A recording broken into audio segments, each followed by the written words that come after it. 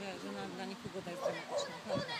Wiatr myślę, że jest niewygodny, myślę, że deszcz i, i słońce tak samo. Więc naprawdę nie wiem, jakie warunki mi pasuje pracować, ale może takie jakby rano, bez słońca.